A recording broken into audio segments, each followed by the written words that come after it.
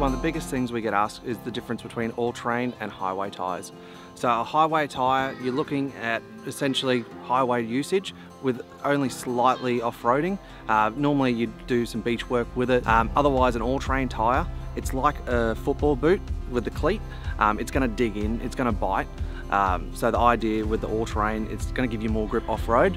Not going to be as good on the highway, um, but it's definitely the be better option for going off-road. So with the HTs, it's got a smoother edge, it's got a straighter pattern to disperse water, whereas an all-terrain's got the chunkier tread, it's going to bite into that surface and actually give you that traction to get going. The 70 series here has BF Goodriches. Um, it's a really good all-terrain. When it comes to all-terrain tyres, they can be a little bit um, high maintenance. You want to keep up rotate balance alignments. Um, something you can get done at the service centres with Motorama on your service. Even in between, just keep an eye on tyre pressures. Once a month is always good to keep the pressure up. Um, but otherwise, you can always swing down to your local Motorama centre. They can check it for you, even check the condition and see how they're tracking. Like today at Scenic Rim, uh, you've got a lot of different uh, sections. You've got the bush, you've got the dirt tracks, you've got the mud. An all-terrain is going to give you that better option.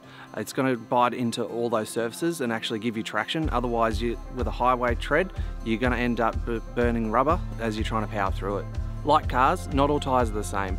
So depending on your journey, what you're doing with your trip, you want to duck down to the local Motorama service centre, have a chat to the experts there with your tyres, and they'll let you know what tyre you need for your trip.